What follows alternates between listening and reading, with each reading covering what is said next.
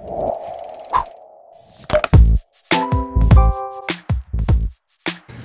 everybody, this is Melvin with TechRunin 24-7 and in today's video we want to show you how to update your Apple Pay debit slash credit card. Now there could be several reasons why you might need to do this. The first that comes to mind is that your current credit card that's in Apple Pay is about to expire and you just got your new one in and so you want to update your Apple Pay with your new credit card and so in today's video we're going to show you how to add the new credit card into Apple Pay and then remove the old credit card out of Apple Pay. So with that being said, let's get started. So as you can see here, we have our iPhone 7 as our demonstration model here today. And the first thing you need to do is locate your Apple wallet. Now, I keep all my Apple apps in one folder and I hit that folder real quick and now we see the wallet. Go ahead and tap on your wallet. Once your wallet is open up, uh, you can see the current credit card that's in there.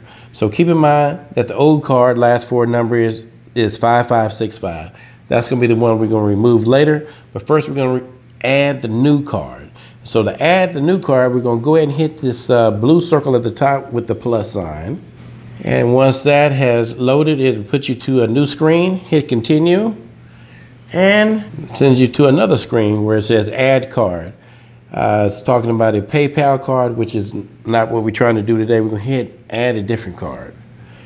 And when it says add a different card, then we're going to go ahead and uh, scan our new card into it. So we're going to go off camera real quick to put this card in. Now, once you have the card all loaded in there, you would get, you would be sent to a new screen where it's going to be the terms and condition. Go ahead and hit agree. Once it's agreed upon, it's going to validate the card. Now the card has been validated. Now it says add to Apple Watch.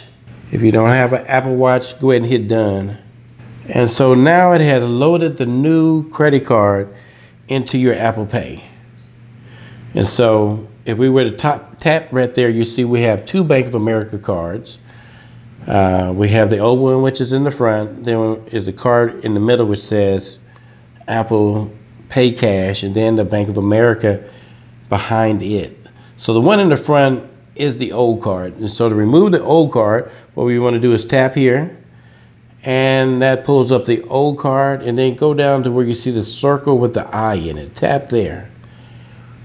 Once that's been tapped, it puts you into the new screen, and then just kind of scroll down to the bottom of the screen, and you will see where it says remove card.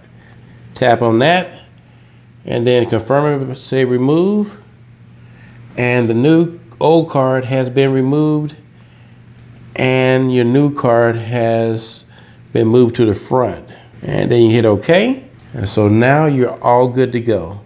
Your new card has been updated and your old card has been removed. So that's about it for our video for today. How to update your Apple Pay debit slash credit card. So hopefully we shared something that you can use and something that was beneficial. If so, be sure to hit that like button. Now, if this is your first time visiting our channel, or if you've been here before but haven't subscribed, we want to encourage you right now to go ahead and take a moment and go ahead and hit that subscribe button down below. And go ahead and hit that bell icon too so you can be notified of new content as soon as we release it. And again, this is Melvin with Tech TechRunin 24-7, bringing you technology that's on the move. Thanks.